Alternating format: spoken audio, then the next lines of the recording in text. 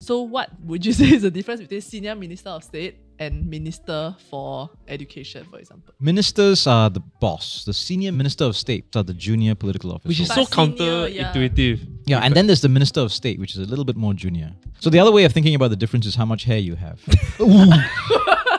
Oh no. So, what? So now it's Quite- senior minister level, is it?